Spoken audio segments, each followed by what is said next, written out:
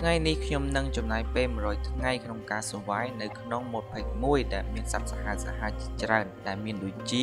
Dead Worm, Sea Serpent, Hydra និងសត្វសាហាវផ្សេងៗទៀតប៉ុន្តែមានសត្វមួយប្រភេទដែលពិសេសជាងគេនោះគឺសត្វនាគក្នុងនោះក៏មាន Legendary Weapon និង item ថ្មីៗជាច្រើនផងដែរ ម៉ូដនោះគឺមានឈ្មោះថា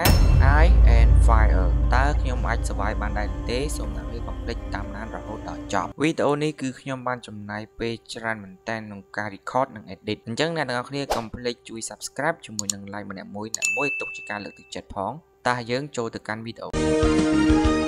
ថ្ងៃដំបូងគឺយើងចាប់ផ្ដើមមកគឺ spawn នៅកណ្ដាលព្រៃខ្ញុំនឹងកាប់ដើមឈើខ្លះដើម្បីយើងធ្វើជា basic tool ហើយខ្ញុំបានមកកាប់ថ្ម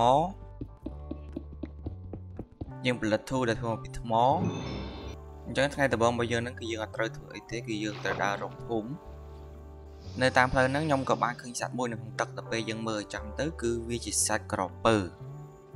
ខ្ញុំក៏បានសម្លាប់សត្វជៀមខ្លះដើម្បីយើងយករោវាធ្វើក្រែខ្ញុំបានជួបនឹង spruce biome ខ្ញុំកាប់យកឈើទាំងកូនឈើខ្លះដោយសារតែនៅតំបន់នេះវាទឹកច្រើនដែរអញ្ចឹងខ្ញុំក៏សម្រេចចិត្តថាខ្ញុំធ្វើទូកហើយខ្ញុំជិះតាមផ្លូវទឹកវិញវាចំណេញពេលជាង ខ្ញុំក៏បានជួបនឹង portal មួយហើយខ្ញុំបានបើកក្នុង chest នោះគឺយើងបាន surprise មែនតើគឺយើងបាន enchanted golden apple ថ្ងៃទី1ខ្ញុំបានធ្វើចង្កានមួយដើម្បីយើងទុកសាច់ខ្ញុំក៏បានសំណល់សត្វបន្ថែមទៀតដើម្បីយើងយកសាច់ទុកជាចំណីអាហាររបស់យើងខ្ញុំរងចាំដើម្បីឲ្យសាច់ឆ្អិនទាំងអស់ហើយបានខ្ញុំធ្វើដំណើរបន្តទៀតខ្ញុំក៏បានជួបប្រសានកម្មទឹកមួយប៉ុន្តែខ្ញុំគិតថាយើងអត់ទាន់មានសមត្ថភាពក្នុងការយើងបាយវាបានទេអញ្ចឹងខ្ញុំក៏សម្រេចចិត្តថាយើងបោះបង់វាចោល នៅពេលដែលខ្ញុំកំពុងតែជីជីហ្នឹងគឺខ្ញុំបានជួបសៀសផិនមួយដែលនៅខាងឆ្ងាយពីយើងដែរអញ្ចឹងខ្ញុំក៏ត្រឡប់ក្រោយវិញ គឺយើងអត់បន្តទៅមុខទេ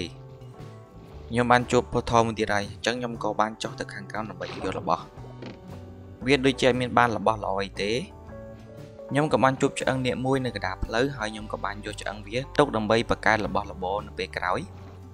មេរយយប់ហើយអញ្ចឹងខ្ញុំក៏ចូលក្នុងព្រៃនេះដើម្បីយើងមកកាប់យកផ្លែលឹកខ្លះហើយខ្ញុំក៏សម្រាកនៅនឹងមួយយប់ទៀតទៅថ្ងៃបន្ទាប់ខ្ញុំក៏បានធ្វើដំណើរបន្តទៅមុខទៀតខ្ញុំបានជួប secret មួយហើយខ្ញុំក៏បានចូលលុកលុយនៅក្នុងហ្នឹងខ្ញុំក៏ទទួលបាន iron emerald ជាមួយនឹង gold ខ្លះដែរខ្ញុំបានធ្វើ pickaxe ដែកមួយនិងបន្ថែដែកមួយខ្ញុំបាន treasure map មួយអញ្ចឹងខ្ញុំក៏ទៅដើររក treasure map នោះដើម្បីយើងជីកយករបស់ អញ្ចឹងខ្ញុំក៏បាន emerald ដែរជាមួយនឹង gold អីបន្ថែមដែរខ្ញុំបានជួបសម័យពីកំពង់ប៉ំទឹកឈើប៉ុន្តែដល់ពេលយើងងើបទៅខាងលើគឺមានឃើញស្លាប់នាគអញ្ចឹងខ្ញុំក៏ដាក់មេប្រូចត្បង់ទៅគឺកុំចាំយូរខ្ញុំបានជួបរុនភើធំទៀតហើយខ្ញុំក៏បានកាប់យក gold ជាមួយនឹង loot chest នៅទីហ្នឹងនៅពេលដែលកំពុងដើរដើរហ្នឹងខ្ញុំក៏បានឃើញសត្វ hypocrite មួយវាហោះនៅលើក្បាលខ្ញុំអញ្ចឹងណាហើយខ្ញុំក៏ទៅរកវាទៅ ប៉ុន្តែពេលដែលខ្ញុំមកដល់កន្លែងវាចុះហើយគឺខ្ញុំមិនបានឃើញវាទេហើយខ្ញុំបានមកឃើញរុនភើធំមួយទៀតដែលនៅទីហ្នឹងខ្ញុំបានជួបឆ្អឹងនាគមួយទៀតហើយអញ្ចឹងខ្ញុំក៏បានកាប់យកឆ្អឹងនាគនឹងបន្ថែមទៀតទីបំផុតខ្ញុំក៏បានជួប village ជាលើកទី1ខ្ញុំក៏បានកាប់យកស្រូវជាមួយនឹងរបស់របរដែលនៅក្នុងហ្នឹងហើយខ្ញុំក៏បន្តដំណើរទៅមុខទៀតដោយសារតែ village នេះមិនមែនជា village ដែលខ្ញុំចង់នៅទេនៅពេលដែលជីជីហ្នឹងខ្ញុំក៏បានឃើញសត្វមួយដែលហោះនៅកន្លែងឆ្ងាយដែរ អញ្ចឹងខ្ញុំគិតថាវាមិនមែនជាសត្វនាគទេខ្ញុំក៏បានជួបអារុននេះមួយហើយខ្ញុំក៏បានចូលទៅហើយខ្ញុំបាន treasure map ចំនួនមួយទៀតខ្ញុំបានជិះដើររក Atroz Map ហ្នឹងអស់រយៈពេលយូរដែររហូតដល់មេរៀបយប់ហើយអញ្ចឹងខ្ញុំក៏សម្រេចចិត្តថាខ្ញុំនឹងសម្រាប់នៅទីនេះមួយយប់ថ្ងៃទី4ខ្ញុំក៏បានជួបសត្វនាគមួយទៀតគឺជានាគរន្ទះវានៅចិត្តកន្លែងដែលជា Treasure Map របស់យើង ទីបំផុតខ្ញុំក៏បានដល់កន្លែង Treasure Map ហើយហើយខ្ញុំក៏បានជីកចុះទៅដល់រកឆេះនៅក្នុងហ្នឹងទីបំផុតខ្ញុំក៏ទទួលបាន Diamond ជាលើកទី1នៅក្នុងឆេះហ្នឹងដល់ពេលដែលខ្ញុំធ្វើដំណើរហ្នឹងគឺខ្ញុំបានជួបសៃក្លបមួយនៅខាងមុខខ្ញុំអញ្ចឹងខ្ញុំគិតថាខ្ញុំអត់ទាន់មានសមត្ថភាពក្នុងការយើងបាយមួយវាបានទេអញ្ចឹងខ្ញុំក៏ដើរវៀងវាសិននៅពេលដែលខ្ញុំវៀងសៃក្លបហើយខ្ញុំក៏បានមកជួបជាមួយនឹងអាសត្វមន់ដៃនេស័រនេះមួយអញ្ចឹងអាសត្វមន់ហ្នឹងវាអាចធ្វើឲ្យយើងវិលមកបានបន្តមកទៀតខ្ញុំក៏បានចូលទៅចាប់ការពួកវា អញ្ចឹងតាមខ្ញុំដឹងគឺអា Mon Dinosaur ហ្នឹងគឺវា drop wearable ដើម្បីយើងយក wearable ហ្នឹងជាអាចធ្វើជាដាវឬមួយក៏ធ្វើជាអាវុធដែលធ្វើអំពីឆ្អឹងនេះបានណាប៉ុន្តែយើងសំណាងអត់ល្អទេគឺវាអត់មាន drop ឲ្យយើងទេអញ្ចឹងខ្ញុំក៏បន្តដំណើរទៅមុខទៀតទៅខ្ញុំក៏បានជួប village មួយហើយខ្ញុំក៏បានដើរចូលទៅ village ហ្នឹងប៉ុន្តែដល់ពេលខ្ញុំដើរទៅគឺមានឃើញពលឺពណ៌សនឹងធ្លាក់មក អញ្ចឹងខ្ញុំក៏បានដឹងថាហ្នឹងមិនមែនជា village ទេអាហ្នឹងគឺជាផ្ទះរបស់ពួកកសម្ព័ន្ធអញ្ចឹងខ្ញុំក៏រត់រកផ្លូវផ្សេងទៅពួកអីយើងអាចអាចខ្វះវាកើតទេខ្ញុំក៏បានជួបឆ្អឹងនាគបន្ថែមទៀតអី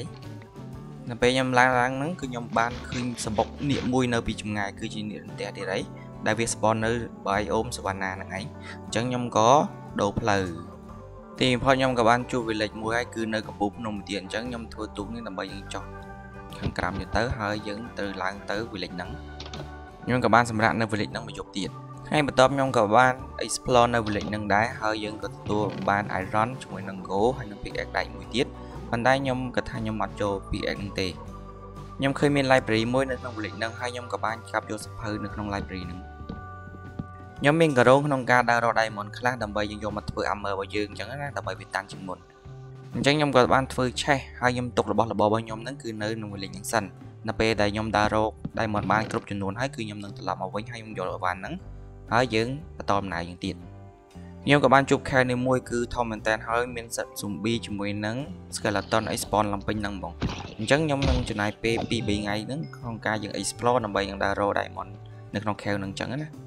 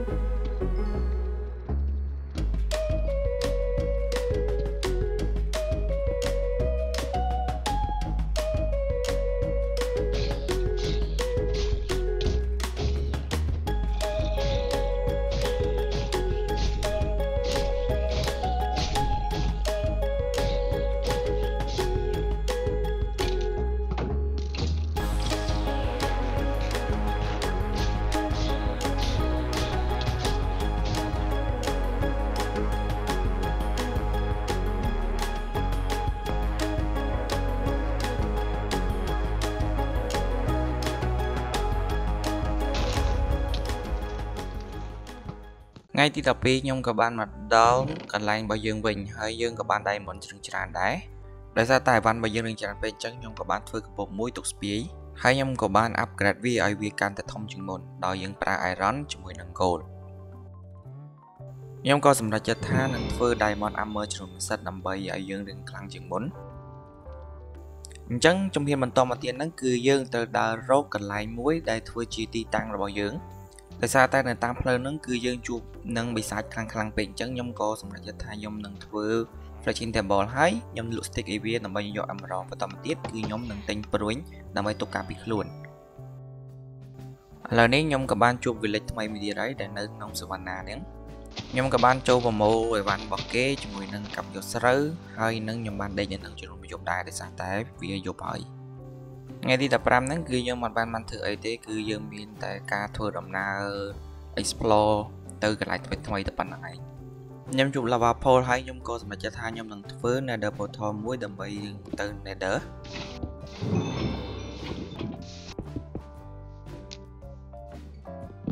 នៅព្រឹកថ្ងៃទី16ហ្នឹងខ្ញុំក៏បានចូលទៅក្នុង nether ខ្ញុំក៏បានមក spawn នៅកន្លែង biome មួយដែលវាពិបាកនឹងទទួលយកមែនតើប៉ុន្តែអ្វីដែលល្អហ្នឹងគឺយើងបានជួប Nether Fortress នៅចិត្តនឹងតែម្ដងខ្ញុំក៏បានធ្វើស្ពានដើម្បីយើងឆ្លងទៅខាង Nether ហ្នឹងអញ្ចឹងគោលបំណងរបស់ខ្ញុំដែលមក Nether ហ្នឹងគឺខ្ញុំចង់មកវាយ Nether Skeleton ដើម្បីយើងយក Wither Bone ក្នុងការយើងធ្វើរបស់ដែលធ្វើមកពី Dragon ប៉ុន្តែដោយសារតែយើងមកជួបនៅកន្លែង Blast Spawner ហើយអញ្ចឹងខ្ញុំក៏សម្រេចចិត្តថាខ្ញុំនឹងវាយ Blast ដើម្បីយក Blast Rod ឲ្យមកទៅ ចឹងខ្ញុំគិតថា8នេះគឺល្មមនឹងគ្រប់គ្រាន់ហើយអញ្ចឹងខ្ញុំក៏ដើររក skeleton បន្ថែមទៀតទីទីបំផុតខ្ញុំក៏បានជួបវាហើយក៏ខ្ញុំបានប្រយុទ្ធជាមួយវាដោយការយើងបាច់ព្រួញអញ្ចឹងខ្ញុំក៏ទទួលបាន variable ចំនួន1ដែរបន្តមកនេះខ្ញុំក៏បានយក variable នោះយកមកធ្វើជា dragon shot មានន័យថាយើងធ្វើជាដាវដែលធ្វើឆ្អឹងនេះអញ្ចឹងដាវនោះគឺវាខ្លាំងជាងដាវយើងយើងធម្មតា ថ្ងៃទី17ហ្នឹងគឺខ្ញុំអត់មានបានធ្វើអីទេក្រៅពីការយើងវាយគ្នាជាមួយនឹង Vader Skeleton ដើម្បីយើងប្រមូលយក Variable ខ្ញុំក៏ទទួលបាន Variable ចំនួន10ដើមដែរដោយសារតែ level របស់យើងគឺ level 29ហើយអញ្ចឹងខ្ញុំក៏សម្រេចចិត្តថាខ្ញុំនឹងធ្វើ spin ទៅរកកាប់ quote ដើម្បីបាន experience ហើយយើងឡើង level ដើម្បីយកទៅ enchant ឥឡូវនេះខ្ញុំក៏បានមកដល់កន្លែង portal វិញហើយខ្ញុំអត់មានសភៅក្នុងការយើងធ្វើ bookshelf ទេអញ្ចឹងខ្ញុំក៏នឹកឃើញវិធីមួយគឺខ្ញុំត្រូវដើររក village ហើយខ្ញុំត្រូវ ហើយខ្ញុំនឹងទិញសភៅនៅកន្លែង village ហ្នឹងហ្មងទីបំផុតខ្ញុំក៏បានជួប village ហើយអញ្ចឹងខ្ញុំនឹងធ្វើ fletcher មួយដើម្បីយើងយកទៅ trade យក emerald ជាមុនសិនបន្តមកបានយើងយក emerald ហ្នឹងទៅទិញសភៅបាន bookshelf មួយគឺតម្លៃទៅ9 emerald អញ្ចឹងខ្ញុំត្រូវការ emerald ច្រើននឹងការយើងទៅទិញ bookshelf ហ្នឹងឲ្យបានច្រើនអញ្ចឹងខ្ញុំនឹងដើររកអ្នកដែលទិញ stick បន្តមកបានយើងយក stick លក់ឲ្យវាហ្នឹងទៅយើងបាន emerald ច្រើន អញ្ចឹងរយៈពេលប្រហែលថ្ងៃនេះគឺខ្ញុំអត់មានទៅណាទេគឺខ្ញុំនៅធ្វើប្រសេសដដែលដដែលហ្នឹងដើម្បីយើងធ្វើម៉េចឲ្យបានយើង enchant ថ្ងៃទី19គឺអ្នកទិញ stick របស់យើងគឺវាអត់តន់ទិញទេអញ្ចឹងខ្ញុំត្រូវអង្គុយចាំវាដើម្បីវាទិញសាដាវិញអញ្ចឹងខ្ញុំនឹងទៅកាប់ស្រូវខ្ញុំនឹងដើរ explore នៅក្នុង village ហ្នឹងលេងលេងទៅចង់ដឹងថាតើវាមានអីដែលយើងនៅមិនតន់បានដឹងដោយសារតែចាំវាយូរពេកអញ្ចឹងខ្ញុំក៏សម្រេចចិត្តថាខ្ញុំនឹងធ្វើ fletcher ម្នាក់ទៀតអញ្ចឹងយើងបាន2នាក់ទៅវារៀងលឿនជាងមុន នៅក្នុងថ្ងៃ19ហ្នឹងគឺមិនខុសពីថ្ងៃទី18ទេគឺយើងនៅតែធ្វើប្រសេសដដែលដដែលនៅទីបំផុតខ្ញុំក៏មានបុកសេះគ្រប់គ្រាន់ក្នុងការយើងអាចធ្វើ enchant table បានខ្ញុំក៏សម្រេចចិត្តថាខ្ញុំធ្វើ bow ដែលធ្វើមកពី Dragon Bow ហ្មងទៅក៏នឹងវាខ្លាំងជាង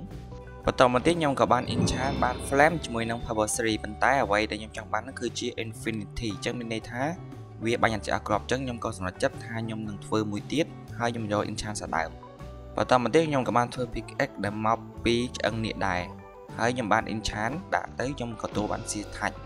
ទីបំផុតបូរបស់ខ្ញុំហ្នឹងក៏បាន infinity អញ្ចឹងអ្វីដែលយើងចង់បានគឺត្រឹមត្រូវហើយហើយបន្ទាប់មកខ្ញុំបានបញ្ចូលគ្នាទាំងបូទាំងពីរហ្នឹងបន្ទាប់ពីបានអ្វីដែលយើងចង់បានហើយគឺខ្ញុំក៏បាន enchant item របស់ខ្ញុំហ្នឹងគឺអាចយក level 2 level 2អញ្ចឹងណាអញ្ចឹងវាបានរបស់ការពីខ្លួនតិចតួចដែរតែមកទៀតខ្ញុំក៏បានរើយវ៉ាត់ហ្នឹងដើម្បីបន្តដំណើរយ៉ាងទៀត ថ្ងៃទី21ខ្ញុំក៏បានចាក់ចេញពីភូមិហ្នឹងហើយខ្ញុំទៅដើររក Dragon ដើម្បីយើងចង់តាតេស្តវត្តរបស់យើងថាវាអាចសម្លាប់បានអត់ខ្ញុំក៏បានឃើញ Ancient Portal មួយជាមួយនឹងភូមិដែលនៅចិននឹងដែរប៉ុន្តែយើងបានទាន់ឃើញនេះទេខ្ញុំក៏បានកាប់យក Go និង Loot Chest នៅនឹងដែរក្នុងរយៈពេលមួយថ្ងៃនេះខ្ញុំក៏បានដើររក Dragon ដែរប៉ុន្តែយើងសំណាងអត់ល្អដល់បានជួប Dragon ទេថ្ងៃទី22ខ្ញុំក៏បានសម្លាប់ Dragon ប៉ុន្តែអ្វីដែលសោកស្ដាយហ្នឹងគឺខ្ញុំភ្លេចជួយ record ហ្នឹងហើយអញ្ចឹងខ្ញុំអត់បាន record ឲ្យអ្នកគ្នាមើលទេប៉ុន្តែអ្នកគ្នាមិនបាច់ភ័យទេខ្ញុំនឹងពាក់ armor ដដែលហើយខ្ញុំនឹងសម្លាប់ដើររកសម្លាប់ Dragon ផ្សេងទៀតអញ្ចឹងអ្នកគ្នានឹងបានឃើញខ្ញុំក៏បានប្រមូលយកឈាមនាគជាមួយនឹង item ដែលនៅក្នុងសម្បុករបស់នាគហ្នឹងថ្ងៃទី23ខ្ញុំក៏បានមកធ្វើដំណើរមកជួបជាមួយនឹងភូមិថ្មីមួយទៀតហើយខ្ញុំក៏បាន explore នៅភូមិហ្នឹងឥឡូវនេះគឺខ្ញុំកំពុងតែដើររកទីតាំងណាមួយដែលខ្ញុំអាចគិតថានឹងធ្វើជា best របស់យើង អញ្ចឹងខ្ញុំត្រូវ explore ទៅមុខទៀតដើម្បីរកកន្លែងដែលស័ក្តិសមដែលខ្ញុំចង់នៅខ្ញុំបានធ្វើដំណើរអស់រយៈពេលមួយថ្ងៃពេញដើម្បីរកកន្លែងដែលយើងចង់បោះទីតាំងប៉ុន្តែខ្ញុំរកអត់ទាន់ឃើញទេអញ្ចឹងខ្ញុំក៏សម្រេចចិត្តថាខ្ញុំសម្រាប់នឹងមួយយប់ទៀតទីបំផុតខ្ញុំក៏បានឃើញទីតាំងនេះមួយគឺជាទីតាំងដែលខ្ញុំចង់បោះនៅនឹងដោយសារតែវានៅកណ្ដាលព្រៃហើយគឺវាមានដើមឈើប៉បេតុងច្រើនអញ្ចឹងខ្ញុំចូលចិត្តនៅកន្លែងតំបន់អញ្ចឹងអញ្ចឹងហើយអញ្ចឹងខ្ញុំក៏បាន clear ដើមឈើហើយនឹងបានរៀបចំ inventory របស់ខ្ញុំហើយខ្ញុំចាប់ផ្ដើមធ្វើផ្ទះនៅនឹង បន្តមកទៀតខ្ញុំក៏បានដាំដើមឈើ clear ស្មៅជាមួយនឹងកាប់ដីឲ្យវារៀបស្មើហើយយើងអាចនឹងធ្វើផ្ទះរបស់យើងបានស្អាតបន្តមកទៀតខ្ញុំក៏បានរៀបចំ design structure របស់ផ្ទះយើងថាយើងចង់បានរបៀបម៉េចបន្តមកទៀតខ្ញុំក៏បានចាប់ផ្ដើមសាងសង់ផ្ទះហើយផ្ទះរបស់ខ្ញុំហ្នឹងគឺខ្ញុំធ្វើមកពីដើមឈើ ដោយសារតែផ្ទះរបស់យើងហ្នឹងគឺខ្ញុំដាក់ឈើទៅវាអត់តំណងអញ្ចឹងហើយខ្ញុំត្រូវវាយចេញហើយខ្ញុំត្រូវកែចុះកែឡើងរហូតដល់ពេលយប់អញ្ចឹងខ្ញុំក៏ដេកមួយយប់ទៀតទៅអញ្ចឹងប្រហែលថ្ងៃនេះគឺខ្ញុំអត់បានទៅណាទេគឺខ្ញុំនៅតែធ្វើផ្ទះនៅហ្នឹងហើយខ្ញុំត្រូវកែចុះកែឡើងរហូតដល់តែចេញលទ្ធផលថ្ងៃទី27ក្រុងផ្ទះរបស់យើងបានរៀបចំហើយហើយអញ្ចឹងខ្ញុំក៏បានធ្វើ floor និងធ្វើ table បន្ទាប់ពីធ្វើដំបូងហើយខ្ញុំត្រូវ design ខាងគៀនគៀនហើយនឹងមុខផ្ទះធ្វើម៉េចឲ្យវាសមជាងមុនដោយសារតែខ្ញុំមើលទៅវាអត់សូវសមអញ្ចឹងខ្ញុំត្រូវកាប់ចុះកាប់ឡើងដូរឈើឬមួយក៏យើងដូរវត្ថុអីផ្សេងផ្សេងដើម្បីដាក់ឲ្យសមថ្ងៃទី28ខ្ញុំគិតថាផ្ទះរបស់យើងគឺទំនងហើយប៉ុន្តែអ្វីដែលយើងត្រូវធ្វើទៀតហ្នឹងគឺនៅសល់ប្រហើយរបស់តិចតួចជាមួយនឹងការ design ខាងក្នុងដោយសារតែមុខផ្ទះរបស់ខ្ញុំហ្នឹងខ្ញុំមើលទៅវាអត់សូវទំនងអញ្ចឹងខ្ញុំក៏បាន design បន្ថែមទៀតដើម្បីឲ្យវាមើលទៅកាន់តែស្អាតជាងមុន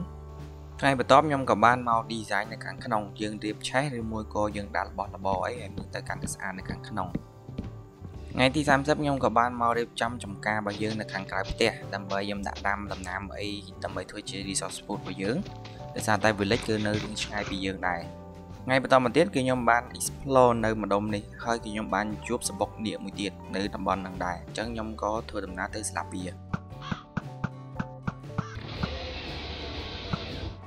ទីបំផុតខ្ញុំក៏បានស្លាប់នាគបានមួយក្បាលទៀតហើយនាគគឺជានាគភ្លើងប៉ុន្តែអ្វីដែលសំខាន់នោះគឺវាអត់មានបានប៉ះខ្ញុំម្ដាយទេដោយសារតែខ្ញុំប្រើបូនេះដែលបាញ់ពីចម្ងាយអញ្ចឹង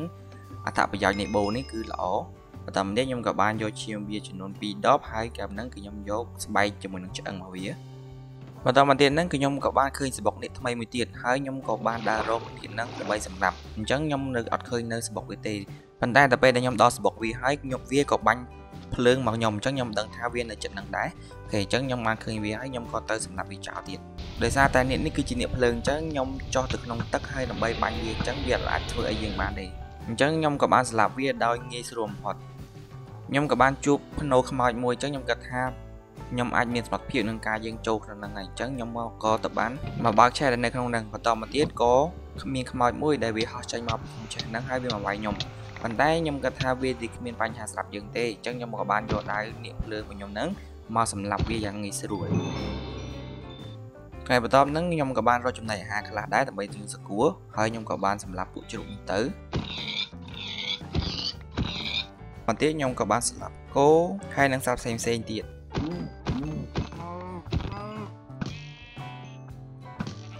នៅតាមផ្លូវធ្វើដំណើររបស់ខ្ញុំហ្នឹងខ្ញុំក៏បានជួបសត្វពួកនេះដែលជាសត្វ ចាប់ដៃណូស័រហើយវាបានហោះអញ្ចឹងខ្ញុំក៏បានចង់ថែមវាអញ្ចឹងដើម្បីយើងអាចថែមវាបានក៏តែយើងបាញ់វាត្រូវហើយដើម្បីវាធ្លាក់ចុះមកខាងក្រោម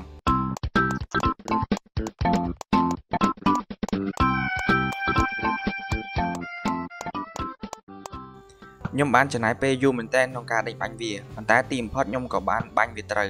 ហើយវាក៏ធ្លាក់ដើម្បីឲ្យយើងថែម ដើម្បីអាចថែមសត្វនឹងបានគឺយើងត្រូវជីលើក្នុងវាបន្តមកទៀតយើងត្រូវរងដើម្បីកុំឲ្យវាចឹកអស់ឈាមរហូតដល់តែវាព្រមធ្វើជាយានជំនិះរបស់យើងទីបំផុតខ្ញុំក៏អាចថែមវាបានហើយយើងអាចហោះបានដោយសេរីដោយងាយស្រួលជាងការដើរប៉ុន្តែសត្វនេះមិនមែនជាសត្វដែលយើងងាយស្រួលក្នុងការយើងជិះវាទេគឺវារឿងពិបាកដែរអញ្ចឹងខ្ញុំត្រូវរៀនរបៀបនៃការជិះរបស់វាសិនបន្តមកទៀតខ្ញុំក៏បានមកដល់ចង្កនេះ ហើយខ្ញុំគិតថាឈាមរបស់វាគឺអស់ហើយអញ្ចឹងសត្វហ្នឹងវាស៊ីខូកាប៊ីនគឺជាចំណីអាហារអញ្ចឹងខ្ញុំក៏ឲ្យវាអង្គុយនៅចាំយើងចឹងទៅបន្តមកទៀតខ្ញុំក៏ចូលនឹងចង្កដើម្បីខ្ញុំទៅរកបេះកកាប៊ីនដើម្បីយើងបញ្ចុកវាទៅដើម្បីវាឡើងឈាមវិញបន្ទាប់មកខ្ញុំយកបញ្ចុកវាទៅអញ្ចឹងយើងពិតជាឃើញថាសត្វហ្នឹងវាស៊ីខូកាប៊ីនមែនអញ្ចឹងឈាមរបស់វាគឺឡើងបានពេញហើយ បន្តមកទៀតខ្ញុំក៏បានចូលទៅក្នុង shipwreck នេះដើម្បីយើង explore មើលហើយក៏ខ្ញុំក៏បានទទួលបាន treasure map មួយជាមួយនឹង skill book នេះមួយខ្ញុំក៏បានមករក treasure map ហើយខ្ញុំក៏បានជិះទៅគឺបានជួបនឹង treasure map ដែលនៅចិត្តនឹងដែរអញ្ចឹងនៅ treasure map ហ្នឹងគឺមានរបស់ប៉ុណ្ណឹងដូចអ្នកខ្ញុំបានឃើញក្នុងវីដេអូឥឡូវនេះខ្ញុំក៏បានមកដល់ផ្ទះរបស់យើងវិញខ្ញុំក៏បានរៀបចំដាំ coca bean ដើម្បីយើងទុកឲ្យសត្វរបស់យើងវាស៊ី ហើយខ្ញុំក៏បានដាំ net របស់ដែរដើម្បីយើងទុកប្រើបាននៅពេលក្រោយទុកធ្វើជា potion ឬមួយក៏អីចឹងទៅនៅពេលទំនេរខ្ញុំក៏បានជិះសេតនេះដើម្បីយើងរៀនជិះវាផងហើយយើងក៏ដើររកទីតាំងថ្មីថ្មីផងដែរបន្ទាប់ពីជីចោះជីឡើងទៅខ្ញុំក៏បានជួបពួកកលសម្ព័ន្ធនេះហើយខ្ញុំក៏គិតថាយើងនឹងមានសមត្ថភាពក្នុងការយើងស្លាប់វាបានហើយអញ្ចឹងយើងក៏សម្លាប់វាចោលប៉ុន្តែនេះគឺជាកងសម្ព័ន្ធដែលទូទៅអញ្ចឹងវាមិនមែនជាមេរបស់វាទេអូខេអញ្ចឹងឥឡូវខ្ញុំក៏សម្លាប់វាលេងលេង ហើយខ្ញុំក៏បានជួបសបុកនេះមួយអញ្ចឹងខ្ញុំក៏ចូលសម្លាប់វាអញ្ចឹងខ្ញុំមិនបាច់ទៅវែងឆ្ងាយទេគឺខ្ញុំសម្លាប់វាដល់ពីចម្ងាយតែហ្មងអញ្ចឹងនេះហ្នឹងគឺវាមិនអាចតដៃមួយយើងបានទេដោយសារតែវាជាប់គាំងនៅក្នុងសបុករបស់វាហើយបន្ទាប់ពី loot របស់នៅក្នុងនឹងអស់ហើយអញ្ចឹងខ្ញុំក៏បានជួបពួក pillager អញ្ចឹងខ្ញុំគិតថាវាជាឱកាសដែលយើងអាចបង្កើត raid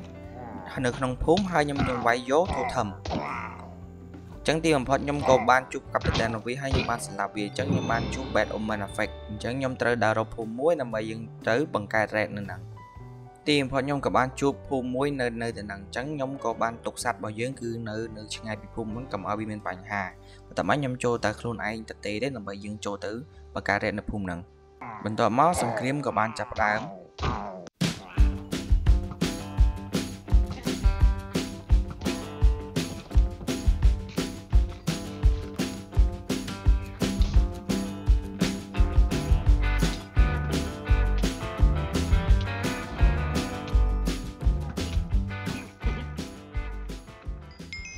ទីបំផុតខ្ញុំក៏បានយកឈ្នះពួក Red ដែលនៅក្នុងភូមិនេះអញ្ចឹងខ្ញុំក៏បានទទួលឈ្មោះថា Hero of the Village ប៉ុន្តែអ្វីដែលស្តុកស្ដាយនោះគឺ villager នៅក្នុងនេះគឺស្លាប់អស់ហើយគឺយើងសល់តែ villager ម្នាក់ប៉ុណ្ណោះអញ្ចឹងយើងមកទៅបានធ្វើធម្មចំនួនដែរខ្ញុំក៏បានធ្វើ leg turn មួយហើយខ្ញុំក៏បានយកមកដាក់ដើម្បីយើងទទួលបានសភៅល្អល្អអស់រយៈពេលជាយូរមកខ្ញុំក៏ទទួលបាន protection 4អញ្ចឹងខ្ញុំក៏បានទិញយកមកក្បាលទៅ អញ្ចឹងខ្ញុំក៏បានសម្រាកនៅក្នុង village ហ្នឹងមួយរយៈពេលមួយយប់ទៀតថ្ងៃទី34ខ្ញុំក៏បានធ្វើដំណើរតាមផ្លូវហ្នឹងក៏បានយើងជួបនាគរន្ទះមួយទៀតហើយខ្ញុំក៏ចូលមកសម្រាប់វាដែរដោយសារសត្វនាគរន្ទះនេះគឺវានឹងព្យាយាមចូលមកជិតខ្ញុំអញ្ចឹងខ្ញុំក៏អស់ឈាមប៊ីសនឹងស្លាប់ដែរប៉ុន្តែសំណាងល្អយើងនៅតែអាចឈ្នះវាបានបន្តមកទៀតខ្ញុំក៏បានចូល explore នៅក្នុងសម្បុករបស់វាជាមួយនឹងនៅក្នុងភូមិហើយយើងបានលួចរបស់របស់វាហើយយើងក៏ធ្វើដំណើរទៅបន្តទៅមុខទៀតទីបំផុតខ្ញុំក៏បានមកដល់ផ្ទះរបស់ខ្ញុំវិញហើយខ្ញុំក៏បានចំណាយពេលក្នុងការបរិយា farm ដេកផ្ទះនិងរៀបចំ inventory របស់ខ្ញុំខ្ញុំក៏បានសម្រេចចិត្តថាខ្ញុំនឹងធ្វើឲ្យក្រត់ធំពីស្បែកនេះមួយសិតដើម្បីទុកការពីខ្លួនព្រោះអីស្បែកនេះវាតាន់ជាង diamond របស់ខ្ញុំ បន្តមកទៀតខ្ញុំក៏បាន enchant book ជាមួយនឹងខោដែរថ្ងៃទី35ខ្ញុំក៏មានកម្រោងនឹងមកកាប់ដើមឈើហើយខ្ញុំយកឈើទាំងអស់នោះដើម្បីយកទៅ trade ជាមួយនឹង villager របស់យើងដើម្បីយើងយក experience ហើយខ្ញុំអាច enchant armor របស់ខ្ញុំហ្នឹងគឺវាកាន់តែខ្លាំងជាងមុនខ្ញុំក៏បានធ្វើដំណើរមកភូមិចាស់របស់យើងវិញហើយខ្ញុំក៏បានចាប់ផ្ដើម trade ជាមួយនឹងពួក villager នឹងដដែលដោយសារតែខ្ញុំលក់ឲ្យវាច្រើនពេកអញ្ចឹងវាក៏តម្លៃតម្លៃគឺ 47 stick ទៅបាន1 emerald ដោយសារតែវាលក់ថ្លៃពេកអញ្ចឹងខ្ញុំក៏សម្រេចចិត្តថាខ្ញុំនឹងរើអីវ៉ាន់ទាំងអស់ហ្នឹងយើងនឹងទៅភូមិថ្មីមួយទៀតដើម្បីយើងលក់ដើម្បីចំណេញជាងហ្នឹងអញ្ចឹងយើងនៅភូមិថ្មីហ្នឹងគឺយើងលក់ឲ្យវាត្រឹមតែ23 stick ទេគឺយើងបានមកអាមរអញ្ចឹងវាចំណេញពេលជាមួយនឹងចំណេញ stick ច្រើនដែរអញ្ចឹងរយៈពេលមួយថ្ងៃហ្នឹងគឺខ្ញុំអត់មានបានទៅណាទេគឺខ្ញុំនៅតែ trade stick ជាមួយនឹងខ្ញុំទិញសភៅទិញអីនៅក្នុងភូមិហ្នឹងរហូតដល់ថ្ងៃលិច ថ្ងៃទី36ព្រឹកឡើងហ្នឹងគឺខ្ញុំនៅតែបន្ត trade ជាមួយនឹងពួកវាដដែលហើយខ្ញុំក៏ដើររក mending book ពី villager នឹងដែរខ្ញុំក៏បានត្រឡប់មកផ្ទះហើយខ្ញុំបាន enchant armor របស់ខ្ញុំដែលនៅសល់ហើយខ្ញុំក៏បានបញ្ចូល mending book ទៅតាម armor របស់ខ្ញុំមួយមួយទាំងដែរថ្ងៃបន្តមកទៀតខ្ញុំក៏បានមកដាំដើមឈើនៅមុខផ្ទះរបស់យើងហើយខ្ញុំបានដាក់បូនមានដើម្បីឲ្យដើមឈើរបស់យើងបេះដូងមកឲ្យមានសរសកាន់តែស្រស់ស្អាតនៅជុំវិញផ្ទះរបស់យើង ចឹងខ្ញុំក៏បានជួបនឹងអាស៊ីលថននេះមួយចឹងខ្ញុំក៏សម្រេចថាខ្ញុំនឹងសម្លាប់វាខ្ញុំក៏បានបរិយ farm របស់យើងបន្ថែមដែរខ្ញុំក៏បានចូលទៅក្នុង Nether សាជាថ្មីដើម្បីយើងទៅស្វែងរក Ender Pearl ដោយយើង trade Ender Pearl ជាមួយនឹងពួក Piglin អញ្ចឹងខ្ញុំក៏បានរងចាំរហូតទៅដល់ Piglin ហ្នឹងវា trade អស់ gold របស់យើងខ្ញុំក៏បានឈឿនពេលខ្លះដើម្បីយើងមកកាប់ quote ដើម្បីយើងយក level បដាបដា បន្តមកទៀតខ្ញុំក៏បាន trade ជាមួយនឹងពួក Piglin ថ្មីថ្មីបន្ថែមទៀតដើម្បីឲ្យ goal របស់យើងចាប់អស់ដោយសារតែរបស់យើងតែម្នាក់គឺវាយូរមែនតើទីបំផុតយើងក៏ទៅរកអនុភាពមកល្មមដែលយើងគិតថាវានឹងអាចដើររក stronghold បានឥឡូវនេះខ្ញុំក៏បានមកដល់ portal របស់ខ្ញុំវិញហើយថ្ងៃទី49ខ្ញុំក៏បានធ្វើ under eye ដើម្បីយើងគប់ទៅរក stronghold អញ្ចឹងខ្ញុំអត់មានជីសัตว์ទៅទេដោយសារតែខ្ញុំខ្លាចថាយើងត្រឡប់មកវិញពិបាក អញ្ចឹងខ្ញុំក៏សម្រេចចិត្តថាខ្ញុំនឹងគប់ហើយខ្ញុំនឹងដើរទៅធ្វើដំណើរថ្មើរជើង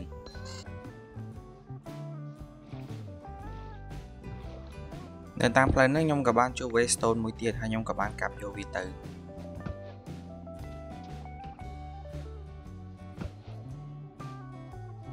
ខ្ញុំបានធ្វើដំណើរអស់ជាយូរឆ្ងាយមែនតើហើយខ្ញុំក៏បានជួបសត្វគីងកុងដែលនៅក្នុងតំបន់នេះញ្ចឹងគឺសត្វហ្នឹងគឺវា friendly ទេគឺវាអត់មានធ្វើអ្វីមួយយើងទេ ខ្ញុំដើររយៈពេលអស់មួយថ្ងៃពេញគឺយើងនៅតែមិនតបានជួបនៅកន្លែង stronghold ទេ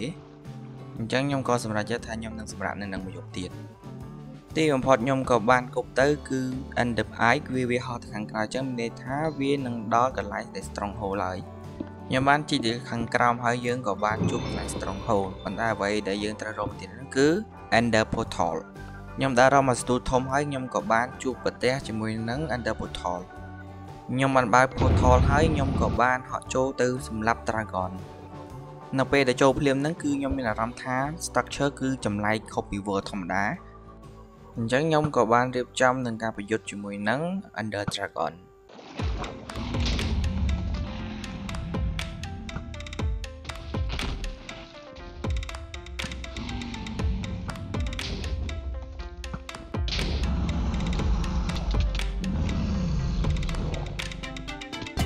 នៅពេលដែលនាគវាចុះពីដីមកគឺខ្ញុំដឹងថាតាមពិតនាគនេះគឺមិនមែនដូចជានាគធម្មតាមែនគឺវាចេះដើរ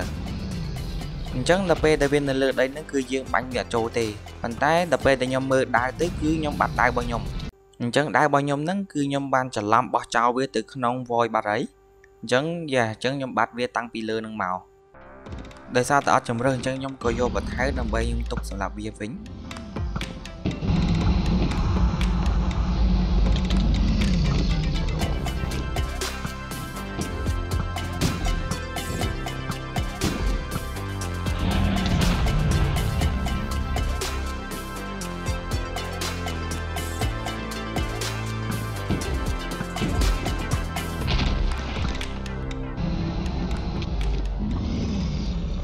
ទីបំផុតខ្ញុំក៏អាចសម្លាប់នាគនេះបានដោយយ៉ាងវេទនា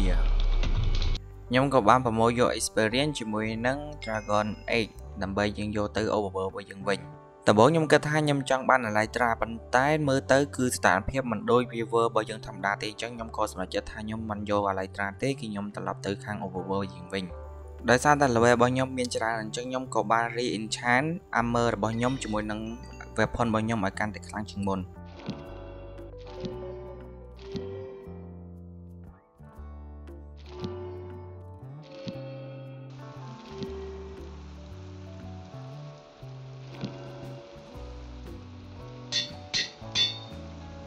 ទីបំផុតខ្ញុំក៏បាន armor មួយដែលខ្លាំងគឺវាមាន protection 4ទាំងអស់បន្តមកទៀតគឺយើងមានបូកផ្សំជាមួយនឹង unbreaking ហើយនឹងរបបផ្សេងផ្សេងទៀត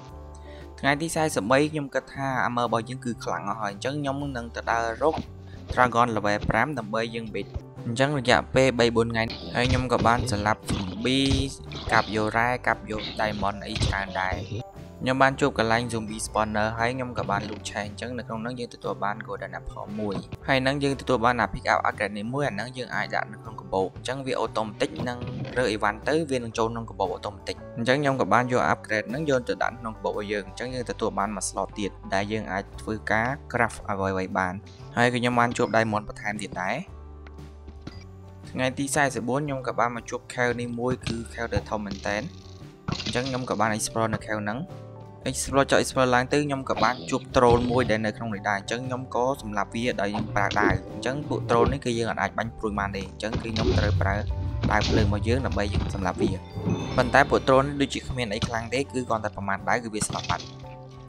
នៅពេលដែលខ្ញុំជីកចុះខាងក្រោមហ្នឹងគឺខ្ញុំបានជួបជាមួយនឹងមេបិសាចមួយដែលជាបិសាចខ្លួនរបស់វាសតដែកអញ្ចឹងចំណុចខ្សែរបស់វាហ្នឹងគឺយើងត្រូវទៅវាយនៅចាំដាវខាងក្រោយក្នុងរបស់វា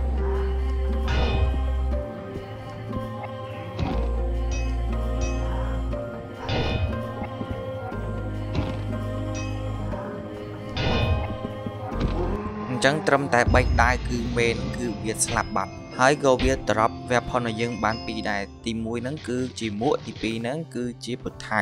ខ្ញុំបានចំណាយពេលជាយូរទីបំផុតខ្ញុំក៏បានជួបនឹងនាគ level 5ដែលនៅខាងក្រោម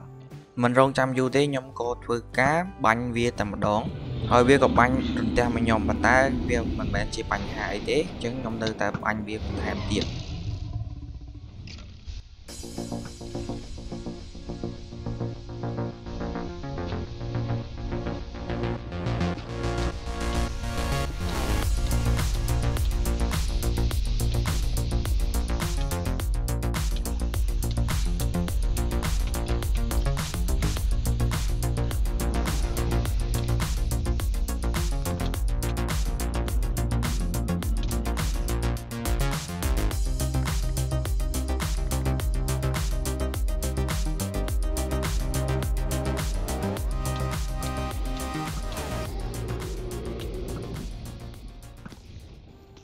ទីបំផុតខ្ញុំក៏បានសម្លាប់អ្នក level 5ដែលជានារន្ទះ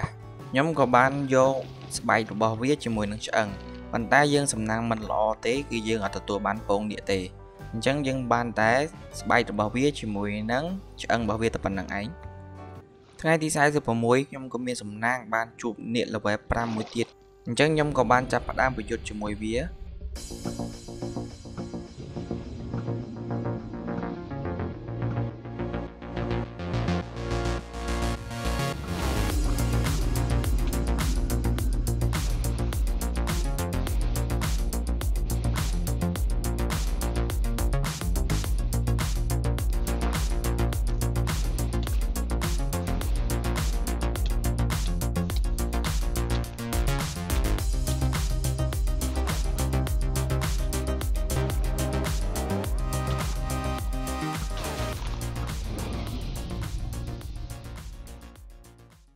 ទីបំផុតខ្ញុំក៏បានសម្លាប់នាគ level 5បានមួយទៀត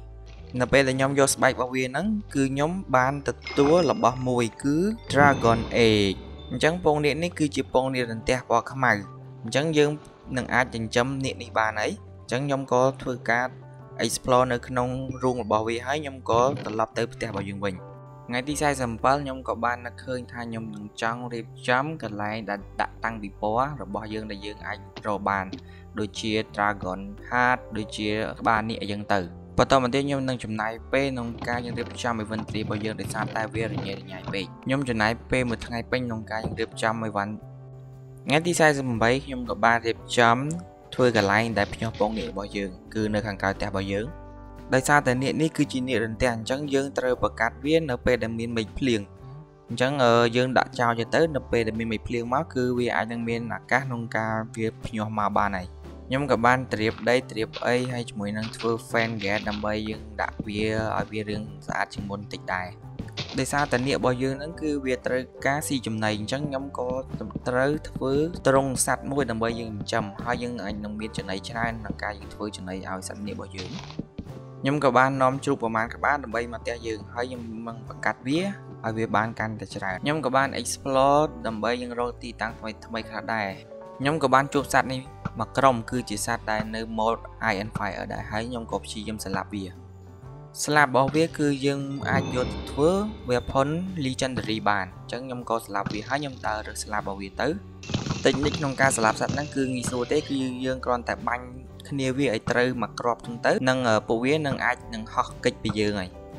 នៅពេលដែលកំពុងតែហោះហ្នឹងគឺខ្ញុំបានជួបជាមួយនឹងសត្វនាគភ្លើងមួយទៀតហើយអញ្ចឹងខ្ញុំក៏ចូលសម្លាប់វា ខ្ញុំបានជួបពួក Seren នេះហើយពួកវាបានច្រៀងហើយហៅខ្ញុំមកចូលកោះនេះហើយបើខ្ញុំសម្លាប់ពួកវាចោល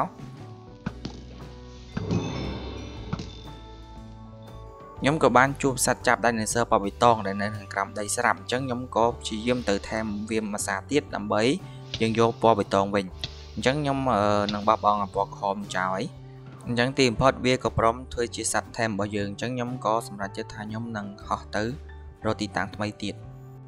នៅពេលហោះហ្នឹងខ្ញុំក៏បានជួបនាគភ្លើងហើយនាគភ្លើងហ្នឹងក៏វាបានបាញ់ភ្លើងមកចំកន្លែងសัตว์របស់ខ្ញុំដែរអញ្ចឹងខ្ញុំក៏ធ្វើការប្រយុទ្ធនឹងវាប៉ុន្តែអ្វីដែលគួរសោកស្ដាយហ្នឹងគឺសัตว์ចាប់យៈដែលតំទៅថែមថ្មីថ្មីហ្នឹងគឺវាបានស្លាប់បាត់ហើយអញ្ចឹងខ្ញុំត្រូវតែសងសឹកសម្លាប់នាគនឹងចោល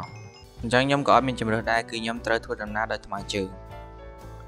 ខ្ញុំបានសម្លាប់សត្វគោដើម្បីយើងយកជឿជាចំណៃខ្លះដែរ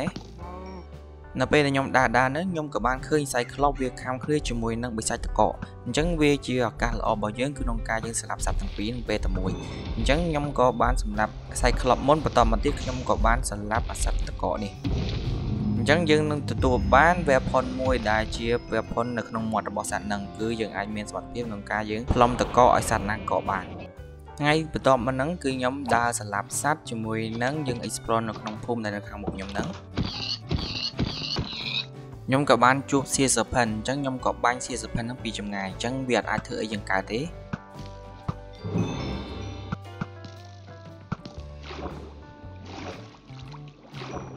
ថ្ងៃបន្ទាប់ហ្នឹងខ្ញុំក៏បានឃើញផ្សាយក្លប់នៅពីចម្ងាយនៅកំពង់តែចាប់រណភូមិអញ្ចឹងខ្ញុំក៏ទៅសម្លាប់វាចោលប៉ុន្តែគួរសោកស្ដាយអ្នកភូមិបានស្លាប់ម្នាក់បាត់ហើយអញ្ចឹងខ្ញុំក៏អត់ដឹងតែត្រូវមិនដែរអញ្ចឹងខ្ញុំគ្រាន់តែបាញ់វាសម្លាប់វានៅពីចម្ងាយហ្នឹងឯង ហើយទីបំផុតវាក៏បានស្លាប់ខ្ញុំក៏បានជួបជាមួយនឹងសត្វនាគភ្លើងមួយទៀតហើយដែលវាកំពុងតែដុតព្រៃអញ្ចឹងខ្ញុំក៏បាញ់វាពីឆ្ងាយទៅដើម្បីសម្លាប់វាចោលថ្ងៃទី55ខ្ញុំបានក៏មកដល់ផ្ទះវិញហើយអ្វីដែលល្អបំផុតនោះគឺមេឃគឺវាភ្លៀងតែម្ដងអញ្ចឹងពងនាគរបស់យើងនឹងគឺវាចាប់ផ្ដើមញាស់ហើយអញ្ចឹងខ្ញុំសង្ឃឹមថាពងនាគរបស់យើងនឹងញាស់ថ្ងៃនេះចុះ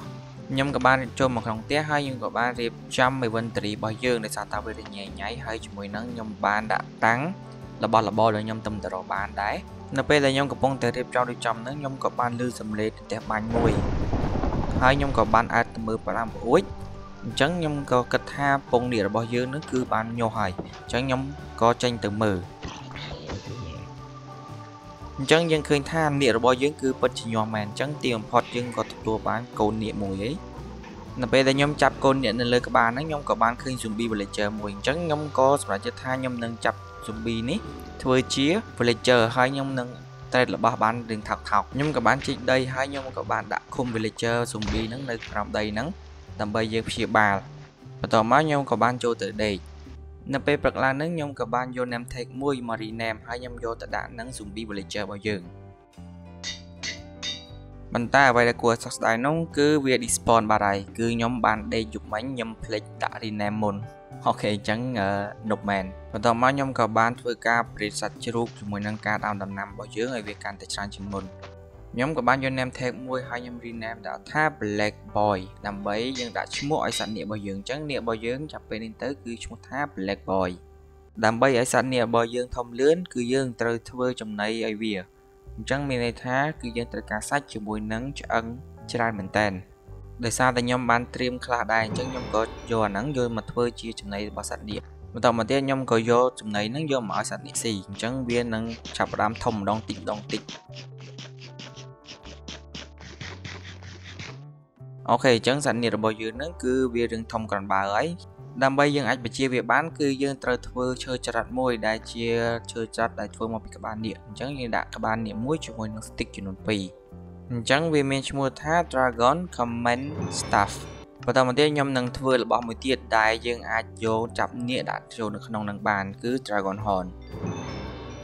ខ្ញុំក៏បានចុះមើល explore ក្នុង cave ដើម្បីយើងដើររកឆ្អឹងឲ្យបានច្រើន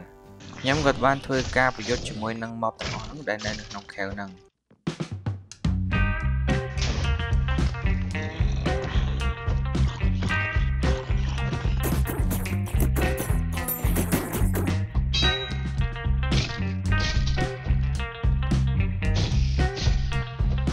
ថ្ងៃទី58ខ្ញុំក៏បានជួបកន្លែង skeleton spawner អញ្ចឹងខ្ញុំក៏ចាប់ផ្ដើមរៀបចំធ្វើជាកន្លែង spawner របស់យើង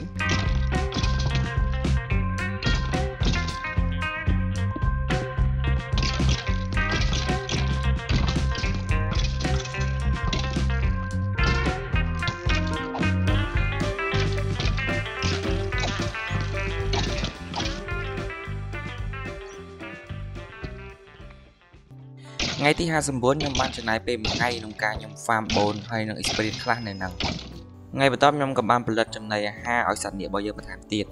បន្ទាប់មកខ្ញុំយកទៅបញ្ចុកនាគរបស់យើងទៀតអញ្ចឹងនាគរបស់យើងកាន់តែធំជាងមុនហើយអញ្ចឹងនាគរបស់យើងហ្នឹងគឺនាគ stage 3ហើយមានអាយុរហូតដល់52ថ្ងៃអញ្ចឹងខ្ញុំក៏អាចជិះវាបាននេះជាលើកទី1ដែលខ្ញុំបានជិះសត្វនាគហើយខ្ញុំក៏សាកជិះវាឆ្វែចុះឆ្វែឡើងហើយខ្ញុំក៏បានតេស្តសមត្ថភាពរបស់វាគឺវាមានបាញ់ប្រទះមានអីចឹងទៅអញ្ចឹងនាគប្រទះនេះគឺខ្លាំងគាត់បើ ថ្ងៃស្អែកហ្នឹងខ្ញុំក៏បានមកប្រជរុកយាយើងបន្ថែមហើយខ្ញុំបានជិះនាគរបស់យើងហោះទៅរកកន្លែងថ្មីថ្មីខ្ញុំបានឲ្យនាគរបស់ខ្ញុំហ្នឹងទៅសម្លាប់ពួកសារ៉ែនដោយយើងបាញ់ផ្ទះក្រោយពីសម្លាប់សារ៉ែនហើយគឺខ្ញុំបានមកសម្លាប់ស៊ីសផិនមួយទៀតដែលនៅចិត្តនឹងដែរថ្ងៃទី62ហ្នឹងខ្ញុំក៏បានមកដល់បាយអូមថ្មីមួយគឺជាបាយអូមដែលមានភ្នំតកកចឹងទៅខ្ញុំបានជប់ស៊ីសផែនមួយទៀតហើយខ្ញុំក៏បានយកនាគរបស់ខ្ញុំហ្នឹងទៅព្រោះរន្ទះដាក់វាហើយវាក៏វាបានស្លាប់ទៅ ថ្ងៃទី63ហ្នឹងខ្ញុំក៏បានយកនាគរបស់ខ្ញុំហ្នឹងទៅសម្លាប់សាយក្លប់ដោយយើងប្រើរន្ទះដូចគ្នាបន្តមកទៀតហ្នឹងគឺខ្ញុំក៏បានសម្លាប់សាច់គោដើម្បីយើងយកសាច់ហើយយើងយកសាច់របស់វាធ្វើជាចំណីរបស់នាគរបស់យើង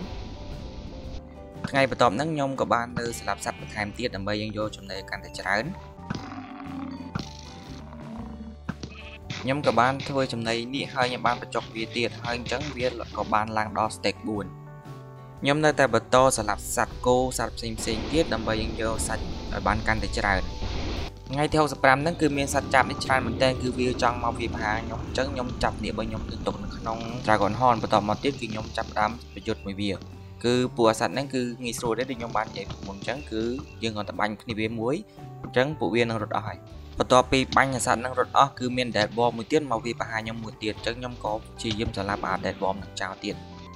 អស់ពី dead worm ឥឡូវមានសត្វសៀសុផិនមួយទៀតគឺវាហក់មកខាំខ្ញុំអញ្ចឹងខ្ញុំក៏ព្យាយាមស្លាប់វាមួយទៀតទៅអស់ពីអាទូចឥឡូវអត់ធំវាមកម្ដងអញ្ចឹងខ្ញុំក៏បានសម្លាប់វាសារទៀតទៅអញ្ចឹងវាអាចធ្វើយើងបានទេបន្តមកទៀតខ្ញុំក៏បានជួបនាគមួយក្បាលទៀតដែលនៅតំបន់ហ្នឹងអញ្ចឹងខ្ញុំក៏សម្លាប់វាចោលទៅ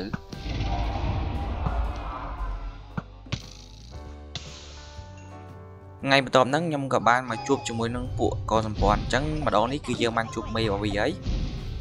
បន្ទាប់ពីស្លាប់កូនចៅវាអស់ហើយខ្ញុំមកស្លាប់មេវាម្ដងអញ្ចឹងមេរបស់វាគឺគ្មានអីពិបាកទេគឺប្រហែលប្រូចប្រហែលដែរគឺស្លាប់បាត់ហើយ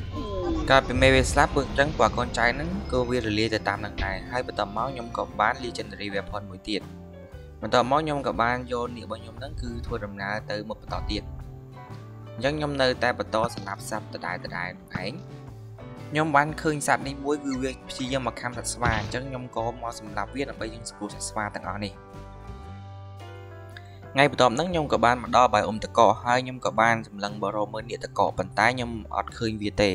ខ្ញុំបានឃើញសាយក្លបហ្នឹងគឺវាព្យាយាមចាប់អ្នកភូមិអញ្ចឹងខ្ញុំក៏យកនាគរបស់ខ្ញុំហ្នឹងសម្លាប់វាចោលដល់ពេលដែលខ្ញុំចុះទៅមើលគឺវាត្រាប់ភ្នែករបស់វាមកអញ្ចឹងគឺយើងបាន legendary weapon មួយទៀតដែរ ថ្ងៃទី68គឺយើងអត់បានជួបអីទេគឺមានតែយើង explore ចោះ explore ឡើងគឺដោយសារតែ computer របស់ខ្ញុំវារៀងកាំងថ្ងៃបន្តមកទៀតហ្នឹងគឺខ្ញុំបានជួបសបុក Hydra នៅក្នុង biome នេះអញ្ចឹងខ្ញុំក៏បានចុះទៅសម្លាប់វា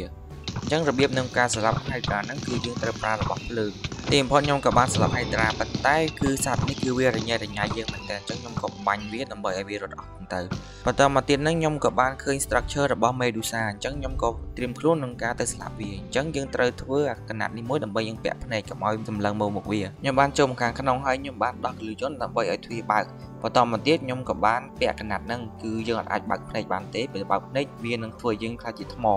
អញ្ចឹងវិធីសាស្ត្រក្នុងការវាយ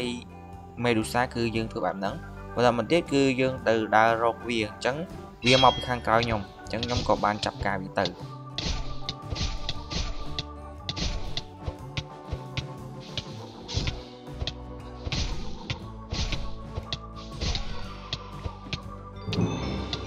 ខ្ញុំក៏បានសម្រាប់វាបានសម្រេចហើយវានឹងត្រប់ក្បាលមួយទៀតឲ្យខ្ញុំអញ្ចឹងខ្ញុំទទួលបាន legendary weapon មួយទៀតហើយ គឺក្បាល Medusa គេយើងឲ្យមានលទ្ធភាពបាញ់ទៅកកថ្ងៃបន្ទាប់ហ្នឹងខ្ញុំក៏បានឃើញនាគភ្លើងមួយទៀតប៉ុន្តែខ្ញុំមិនបានតបៃវាទេខ្ញុំជឿវាយខ្ញុំបានជួបហៃត្រាមួយទៀតហើយខ្ញុំក៏បានបើកការប្រយុទ្ធជាមួយវាអញ្ចឹងហៃត្រាម្ដងនេះគឺវារៀងខ្លាំងដែរគឺវាប៊ីសនឹងស្លាប់ខ្ញុំហើយប៉ុន្តែខ្ញុំនៅតែស្លាប់វាបានគោលបំណងដែលយើងស្លាប់ហៃត្រានេះគឺយើងចង់បានបេះដូងរបស់វាប៉ុន្តែហៃត្រាដែលខ្ញុំបានស្លាប់ប្រមាណហ្នឹងគឺវាអត់ត្រប់បេះដូងឲ្យយើងទេ ថ្ងៃទី71ហ្នឹងខ្ញុំក៏នៅតែបន្តដើររកហៃត្រាទៀតគឺខ្ញុំចង់បានបេះដូងរបស់វាមែនតើខ្ញុំក៏បានជួបសបុកវាមួយទៀតអញ្ចឹងខ្ញុំក៏បានដើរចូលមកគឺអត់បានឃើញវាទេគឺមានឃើញតែស៊ុំប៊ីប៉ុន្តែដល់ពេលខ្ញុំដើរទៅមុខខ្ញុំក៏បានឃើញវាហើយខ្ញុំក៏ធ្វើការប្រយុទ្ធមួយវាប៉ុន្តែបើសិនជាវានៅទឹកចេះគឺយើងអត់បាច់បាញ់វាឆេះទេអញ្ចឹងខ្ញុំក៏ដូរវិធីសាស្ត្រក្នុងការយើងវាយវាលើគោកហើយខ្ញុំនឹងសម្លាប់វាចោល ប៉ុន្តែម្ដងនេះវាក៏បានស្លាប់ខ្ញុំវិញប៉ុន្តែដោយសារតែខ្ញុំមានទូធំអញ្ចឹងខ្ញុំក៏អាចនៅតែបន្តស្លាប់វាបានអញ្ចឹងយើងក៏អត់មានត្រាប់អីដែរអញ្ចឹងរយៈពេលប្រហែលថ្ងៃនេះហ្នឹងគឺខ្ញុំអត់មានធ្វើអីទេគឺខ្ញុំស្វែងរកហៃត្រាពីមួយកន្លែងទៅមួយកន្លែងគឺខ្ញុំចង់បានបេះដូងមកវា ពេលដែលមកកំពុងជីនៀកហ្នឹងគឺមានអាសត្វចាបហ្នឹងវាដេញបាញ់ខ្ញុំរហូតអញ្ចឹងខ្ញុំក៏សម្រេចចិត្តថាខ្ញុំមកចង់មកបាញ់វាសិនបន្តមកទៀតនេះខ្ញុំក៏បានជួបហៃត្រាមួយទៀតអញ្ចឹងខ្ញុំនៅតែចូលស្លាប់វាដដែលហ្នឹងដើម្បីយើងយកបេះដូងរបស់វាប៉ុន្តែសំណាងមិនល្អទេគឺវាអត់មានត្រាប់ទៀតហើយពីមួយថ្ងៃទៅមួយថ្ងៃហ្នឹងគឺខ្ញុំអត់មានធ្វើអីទេគឺខ្ញុំផ្ដោតទៅលើតែសម្រាប់ហៃត្រាតែប៉ុណ្្នឹងឯង ពេលខ្ញុំដើរដើរហ្នឹងគឺមានសត្វកពើមួយវាមកខាំជើងខ្ញុំអញ្ចឹងខ្ញុំក៏យកដាវរបស់ខ្ញុំហ្នឹងគឺស្លាប់កពើហ្នឹងអញ្ចឹងកពើហ្នឹងគឺវាតាន់មែនតែនតែទីបំផុតវាក៏ស្លាប់ដោយសារសត្វចាមហ្នឹងវារំខានពេកអញ្ចឹងខ្ញុំក៏យកនាគរបស់ខ្ញុំគឺមកព្រុសដាក់ពួកវាស្លាប់ពួកវាចោលខ្ញុំក៏នៅតែស្វែងរកហៃត្រាបន្តទៀតប្រទីបំផុតខ្ញុំក៏បានជួបមួយទៀតហើយខ្ញុំក៏បានចូលទៅស្លាប់វា អញ្ចឹងវាត្រប់តែឆ្អឹងឲ្យយើងទេគឺវាអត់ត្រប់បេះដូងទេខ្ញុំស្លាប់ហៃត្រាពីមួយទៅមួយពីមួយទៅមួយអញ្ចឹងវាក៏នៅតែមិនត្រប់បេះដូងឲ្យយើងដែរថ្ងៃទី76ហ្នឹងទីបំផុតខ្ញុំក៏ទទួលបានបេះដូងរបស់ Hydra អញ្ចឹងបេះដូងរបស់វាហ្នឹងគឺវាមានទូនាទីក្នុងការ generate ឈាមឲ្យយើងអញ្ចឹងគឺវាល្អមែនតើសម្រាប់យើងបន្តមកទៀតហ្នឹងខ្ញុំក៏បានមកដល់ផ្ទះហើយខ្ញុំក៏បានធ្វើ item frame ក្នុងការយើងដាក់តាំងរបស់ដែលយើងអាចរកបានអញ្ចឹងខ្ញុំបានដាក់តាំងពិព័រណ៍របស់ដែលយើងរកបាន អញ្ចឹងអ្វីដែលយើងរកបានគឺរឿងច្រើនដែរខ្ញុំបានចំណាយពេលមួយថ្ងៃពេញក្នុងការយើង farm ថ្ងៃយើងព្រិតសัตว์ជាមួយនឹងយើងវាយយកបូនខ្ញុំគិតថាបូនប៉ុណ្នេះគឺវាល្មមនឹងការយើងធ្វើចំណៃនេះអីខ្ញុំក៏បានធ្វើចំណៃនេះហើយខ្ញុំយកចំណៃហ្នឹងយកទៅព្រិតសัตว์នេះរបស់យើងឲ្យវាកាន់តែធំជាងមុនបន្តមកទៀតហ្នឹងខ្ញុំក៏បានជីនេះរបស់យើងដែលលេងជុំវិញវេលិចរបស់យើងហ្នឹង គឺដោយសារតែខ្ញុំមិនដឹងថាត្រូវធ្វើអីទេថ្ងៃទី80ខ្ញុំក៏បានធ្វើកាបូបមួយដើម្បីយើងទុករបស់ដែលបានមកពី mode Iron Fire អញ្ចឹងខ្ញុំក៏បានធ្វើដំណើរដល់ស្វែងរក Legendary Weapon បន្ថែមទៀតក្នុងនោះខ្ញុំក៏បានមកជួបជាមួយនឹងកសម្ព័ន្ធមួយទៀតហើយអញ្ចឹងខ្ញុំក៏យកនេះរបស់ខ្ញុំទៅស្លាប់ពួកវាទៅបន្តមកទៀតខ្ញុំក៏បានមកជួបជាមួយនឹងសត្វ Hypogryph ដែលជាសត្វមិនងាយបានជួបទេខ្ញុំទៅបានជួបប្រហែលដង អញ្ចឹងខ្ញុំក៏បានចុះមកសម្រាប់វាដើម្បីយើងយករបស់ធ្វើជា weapon legendary ប៉ុន្តែវាអត់ត្រប់ឲ្យយើងទេថ្ងៃបន្ទាប់មកទៀតហ្នឹងគឺខ្ញុំធ្វើដំណើរថ្មើរជើងដើម្បីខ្ញុំដើររកអាសត្វដែលវាធ្វើឲ្យយើងវិលមកគឺសត្វ Mon Dinosaur ហ្នឹងដើម្បីខ្ញុំយក weapon legendary អញ្ចឹងខ្ញុំក៏បានជួបវាមួយក្រុមអញ្ចឹងខ្ញុំក៏បានព្យាយាមសម្លាប់ពួកវាដែរអញ្ចឹងពួកនេះវាពិបាកបន្តិចអីខ្ញុំដេញស្លាប់ពួកវាតាំងពីថ្ងៃរហូតដល់យប់អញ្ចឹងខ្ញុំអត់បានអីទាំងអស់ ថ្ងៃបន្តមកទៀតខ្ញុំនៅតែបន្តដើររកសត្វមន់នឹងបន្ថែមទៀតខ្ញុំបានចំណាយពេលយូរមែនទែនដើម្បីដើររកពួកវាប៉ុន្តែខ្ញុំមិនបានឃើញពួកវាទេខ្ញុំក៏បានមកដល់តំបន់ខ្សាច់អញ្ចឹងខ្ញុំក៏បានសម្លាប់អាសត្វកៅ dead worm នេះដើម្បីយើងយក weapon delivery ដែរប៉ុន្តែវាអត់មាន drop ឲ្យយើងទេខ្ញុំក៏បានជួប hub មួយអញ្ចឹងនៅក្នុង hub ហ្នឹងអត់មានអីទេមានតែ name tag ខ្ញុំក៏បានជួប structure របស់ Medusa មួយទៀតអញ្ចឹងខ្ញុំក៏បានត្រៀមខ្លួនក្នុងការចូលទៅស្លាប់វាដដែលប៉ុន្តែនៅចិត្តហ្នឹងគឺវាមានស៊ីសផិនមួយទៀតអញ្ចឹងខ្ញុំក៏ស្លាប់ស៊ីសផិនមុនទៅ នៅពេលដែលខ្ញុំរៀបចូលហ្នឹងគឺខ្ញុំ surprise មែនតើគឺវាឡើងមកដល់លើអញ្ចឹងវាក៏បានសម្រាប់ខ្ញុំមុនដោយសារតែខ្ញុំមាន totem អញ្ចឹងខ្ញុំក៏បានរួចខ្លួនមួយសាទៀតទៅហើយខ្ញុំក៏បានចាប់ការវាមួយសាទៀតវាក៏បានស្លាប់ហើយខ្ញុំក៏ទទួលបាន legendary weapon ជាលើកទី2ខ្ញុំចំណាយពេលក្នុងការដើររកសត្វ Mon Dinosaur ហ្នឹងអស់រយៈពេលមួយថ្ងៃពេញថ្ងៃបន្ទាប់ហ្នឹងខ្ញុំក៏បានឃើញសត្វហ្នឹងមួយក្រុមទៀតអញ្ចឹងខ្ញុំក៏បានចូលទៅស្លាប់វា ប៉ុន្តែទោះស្លាប់វាយ៉ាងណាក៏វាអត់ត្រប់ឲ្យយើងដែរខ្ញុំបានមកដល់ផ្ទះហើយខ្ញុំក៏បានរៀនធ្វើ Dragon Force គឺជាកៅអៅនាគដែលខ្លាំងជាងគេបំផុតនៅក្នុង mode Iron Fire អញ្ចឹង Dragon Force ហ្នឹងគឺវាមាន3ជាន់ដែលមួយជាន់មួយជាន់ហ្នឹងគឺធ្វើមកពីស្បែកនាគអញ្ចឹងមានន័យថាខ្ញុំត្រូវប្រមាញ់សត្វនាគឲ្យបានច្រើនអញ្ចឹងមិនចាំយូរទេខ្ញុំក៏មកប្រមាញ់សត្វនាគដើម្បីយើងយកស្បែកជាមួយនឹងឈាមរបស់សត្វនាគហ្នឹងដើម្បីយើងអាចយកទៅធ្វើ Dragon Force បានខ្ញុំក៏បានដេញស្លាប់ពួកសត្វនេះដើម្បីយើងយក រោមរបស់វាធ្វើជា legendary weapon ដោយសារតែយើងជាសត្វនាគអញ្ចឹងយើងងាយស្រួលក្នុងការស្លាប់វាទេខ្ញុំក៏បានជួបសត្វនាគបន្ថែមទៀតហើយខ្ញុំក៏បានស្លាប់វាមួយទៀតទៅអញ្ចឹងខ្ញុំក៏បានធ្វើ legendary weapon ដែលមកធ្វើមកវិស័តមិញថ្ងៃបន្តមកទៀតហ្នឹងខ្ញុំក៏បានជួបសាច់នាគមួយទៀតហើយខ្ញុំក៏នៅតែសម្លាប់វាដែរដើម្បីយើងយកធ្វើជា Dragon Force របស់យើងខ្ញុំក៏បានជួបសត្វ Mon Dinosaur ហ្នឹងសាជាថ្មីហើយខ្ញុំក៏បានទៅស្លាប់វាបន្ថែមទៀត ដោយសារពិបាកស្លាប់វាពេកខ្ញុំក៏ស្រចិត្តថាខ្ញុំនឹងពាក់អាកសែងបាំងភ្នែកនេះយើងស្លាប់វាវិញអញ្ចឹងយើងងាយស្រួលជាងមុនឆ្ងាយដោយសារតែយើងអត់បានវិលមុខអញ្ចឹងខ្ញុំក៏បានសម្លាប់វាទៅ ទីបំផុតវាក៏បាន drop ភ្នែកនេះឲ្យយើងហើយយើងអាចយករបស់ហ្នឹងទៅធ្វើ legendary weapon បានអញ្ចឹងខ្ញុំក៏បាន craft legendary weapon បានមួយទៀតថ្ងៃទី85ខ្ញុំក៏បានមកដល់ biome តកកដែលនេះគឺជាតកកមែនតែនមិនមែនតកកដូចលមុនទេ ខ្ញុំក៏បានជួបមកយូរសន្លឹមនៅនឹងដែរអញ្ចឹងខ្ញុំរងចាំដល់ដល់ពេលយប់បានខ្ញុំបកមកវិញខ្ញុំក៏បានជួយឲ្យបិសាចតកកនេះមួយទៀតអញ្ចឹងខ្ញុំក៏ចូលស្លាប់វាឆៅឆៅទៅគឺគ្មានអ្វីគួរខ្លាចទេអញ្ចឹងវាក៏បាន drop legendary weapon ឲ្យយើងមួយទៀតដែរទីបំផុតខ្ញុំក៏បានជួបនាគតកកអញ្ចឹងដល់ពេលខ្ញុំបាញ់ទៅគឺថាវាទៅជាមួយនឹងសัตว์នាគរបស់យើងអញ្ចឹងខ្ញុំក៏ចោះ ទៅស្លាប់វាបណ្ដោយនៅពេលដែលយើងយកដើមភ្លើងទៅវាយវាវានឹងបុកឌីមេកឲ្យយើងកាន់តែច្រើនជាងមុនអញ្ចឹងមានថាយើងយកដើមភ្លើងទៅវាយនាគតកកគឺវាឈឺជាងមុនមិនយូរប្រហែលខ្ញុំក៏នៅតែស្លាប់វាបានបន្តមកទៀតគឺខ្ញុំបានយកឈាមរបស់វាដើម្បីយើងផលិតទៅជា legendary weapon មួយទៀតគឺដាវទឹកកកខ្ញុំក៏បានមក New Zealand វិញហើយខ្ញុំមកវាយពួក mob ដែលនៅ New Zealand ហ្នឹងដើម្បីយើងបានសោចូលទៅក្នុង New Zealand ហ្នឹង ខ្ញុំបានចំណាយពេលមួយយប់ពេញនឹងការវាយមកទាំងអស់ហ្នឹងដើម្បីឲ្យវាត្រប់សោប៉ុន្តែគួរសោកស្ដាយគឺវាមិនត្រប់ឲ្យយើងទេអញ្ចឹងរហូតដល់ភ្លឺឡើងខ្ញុំក៏សម្រេចចិត្តថាខ្ញុំនឹងឃុំខ្លួនឯងឲ្យដល់ទៅយប់ភាសាទៀតដើម្បីយើងវាយចាប់ដើមវាយភាសាទៀត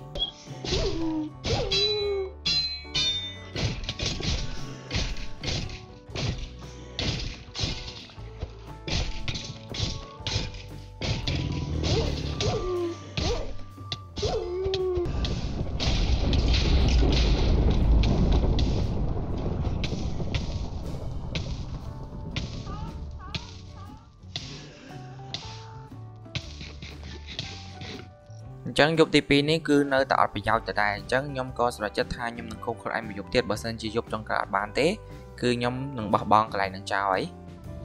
អញ្ចឹងវាក៏បានយប់មួយសាទៀតហើយខ្ញុំក៏បានទៅស្លាប់មកនឹងដដែលដដែល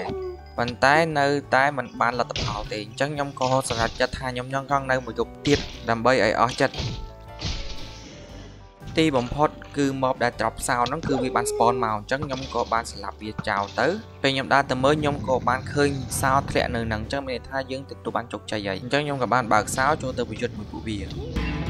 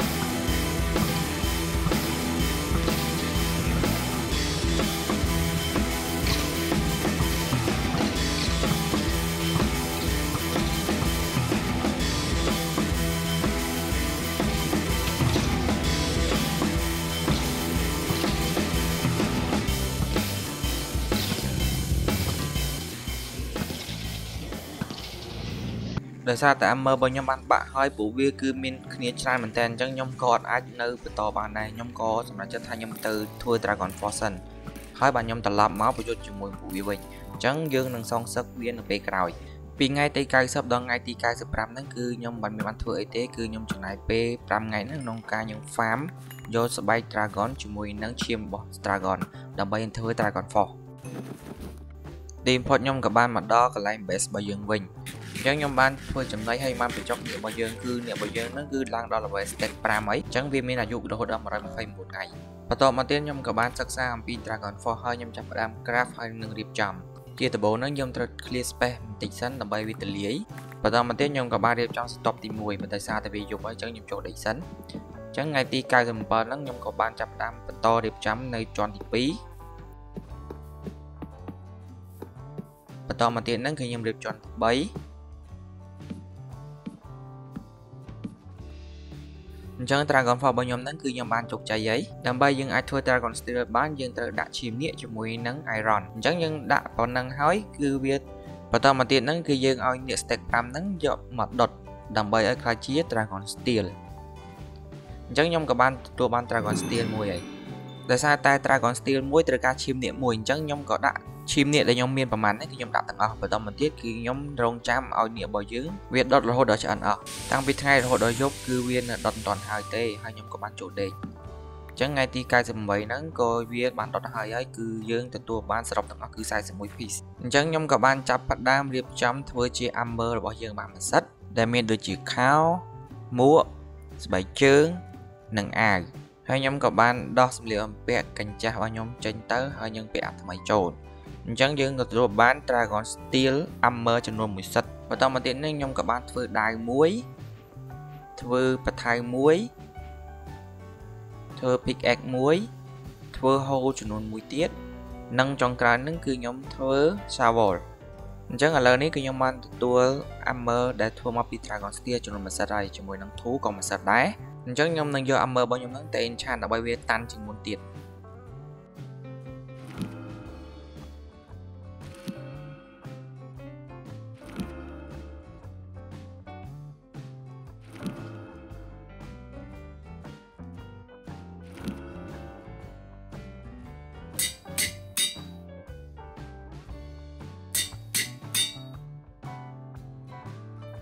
ថ្ងៃទី99ខ្ញុំនឹងយកនាគរបស់ខ្ញុំដើម្បីយើងទៅដល់កន្លែង New Zealand ហ្នឹងហើយយើងនឹងធ្វើការសងសឹកចង់ដឹងថាតើយើងអាចទប់ជាប់ឬអត់ឥឡូវនេះខ្ញុំបានមកដល់ New Zealand ហើយអញ្ចឹងសង្គ្រាមក៏បានចាប់ផ្ដើម